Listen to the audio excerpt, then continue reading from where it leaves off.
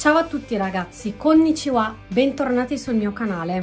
Oggi vi voglio parlare di un argomento un po' diverso dal solito, ovvero di un problema molto grave ed è il problema del lavorare troppo e di morire poi per il troppo lavoro, che in Giappone si dice karoshi. Ma prima ovviamente via con la sigla.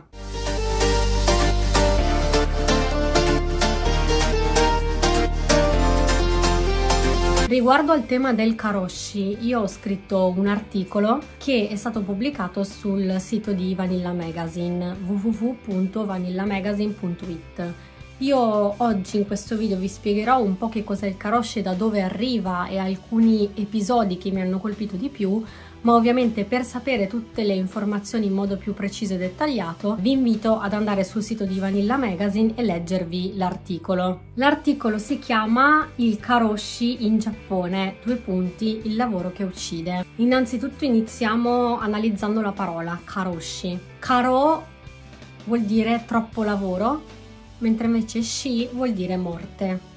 Di karoshi muoiono centinaia di giapponesi all'anno e il primo caso fu registrato nel 1969 quando un, un, impiegato giapponese di soli 29 anni morì a seguito di un ictus per aver lavorato troppo. Ma è solo nel 1978 che viene coniata la parola karoshi e sarà nel 1982 che entrerà effettivamente nell'uso comune. Grazie all'influenza di un libro il cui titolo io l'ho tradotto come Karoshi prevenzione e riconoscimento delle malattie cardiache e cerebrali in ambito lavorativo. E come autori ho trovato Tajiri Shunichiro e Uehata. Se eh, voi avete trovato diversamente scrivetemelo ovviamente sotto nei commenti.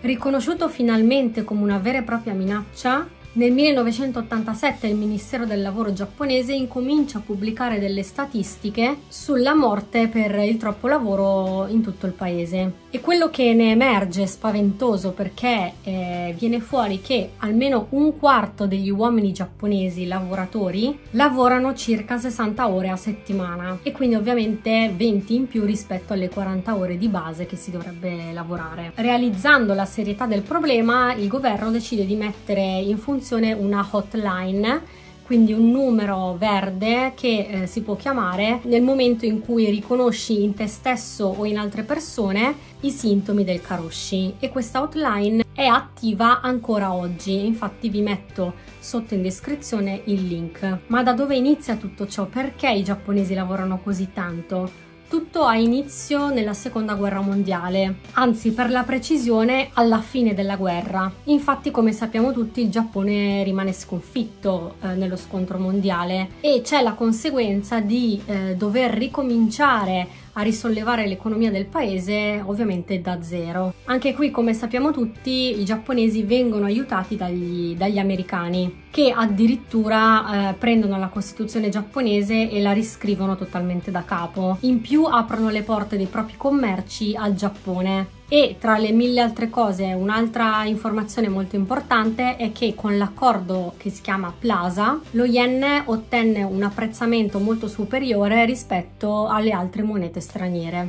Il primo ministro dell'epoca Shigeru Yoshida quindi si impegna moltissimo nella ricostruzione dell'economia del paese trovando validi alleati nel popolo stesso giapponese che anche loro incominciano a impegnarsi a lavorare tantissimo eh, per, per, far sì che il Giappone possa uscire da questa situazione claustrofobica. Infatti eh, incomincia a esserci pian piano un certo benessere e infatti questo cambiamento da 0 a 1000 viene chiamato proprio come il miracolo economico giapponese. Però ovviamente tutto ciò ha un prezzo e il prezzo è la vita dei lavoratori che si spaccano la schiena tutti i giorni per 60 ore alla settimana per poter riuscire a risollevare le sorti del paese. Io nel mio articolo parlo nello specifico di due casi di karoshi eh, in cui sono morte due ragazze. La prima si chiama Miwa Sado, che era una reporter della NHK, che è un programma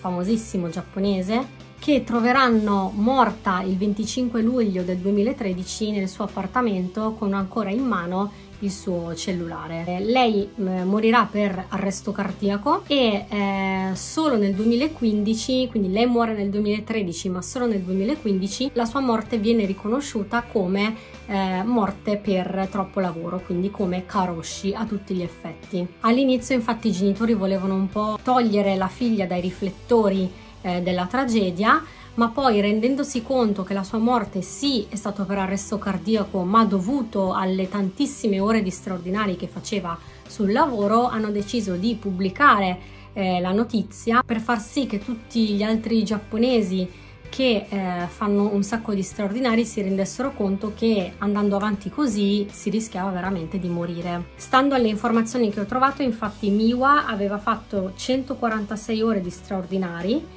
e nel mese precedente alla sua morte 159. Un altro caso celebre di morte per Karoshi è avvenuto nel 2015 e eh, in questo caso la vittima si chiama Takahashi Matsuri che aveva cominciato, aveva appena cominciato a lavorare in un'azienda che si chiama Densu e dopo soli nove mesi che lavorava per questa azienda è morta per Karoshi. La sua pagina tweet che la mamma ha voluto mantenere intatta è veramente un'escalation dall'emozione dei primi giorni di lavoro, dei primi tempi di lavoro, al, eh, alla depressione e a sentimenti di sfinimento mentale e fisico eh, che questa ragazza ha provato appunto in questi lunghissimi nove mesi. Soprattutto a seguito della, della morte di Takahashi, nel 2016 il governo giapponese promuove un'iniziativa per andare contro questo gravissimo problema del karoshi L'iniziativa si chiama Premium Friday, dove l'azienda avrebbe permesso ai propri dipendenti di uscire alle 3 del pomeriggio l'ultimo venerdì eh, del mese. Inutile dire che tantissime aziende non aderirono al Premium Friday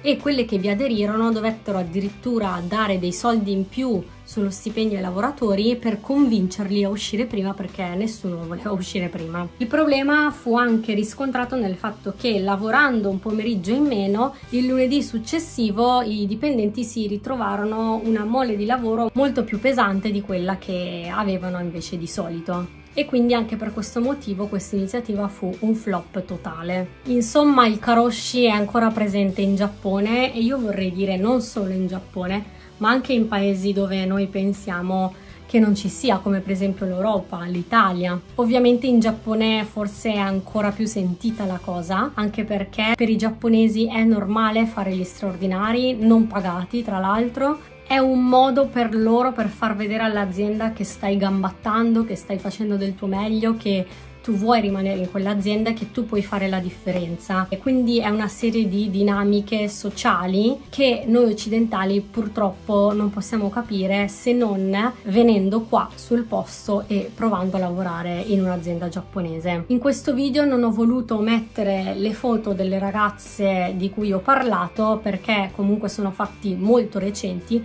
e quindi non voglio nuocere alla sensibilità di parenti, amici, conoscenti che insomma potrebbero essere giustamente ancora vivi perché si parla di eh, fatti che sono successi ehm, al più tardi nel 2013 quindi appunto non, ho deciso di non mettere le foto delle due ragazze. Per oggi è tutto, spero vi sia piaciuto questo video anche se è un po' diverso dal solito. Se vi è piaciuto questo video iscrivetevi al canale e seguitemi su Instagram. Il mio nome è manu underscore 28j. Ci vediamo a un prossimo video. Ciao Matane!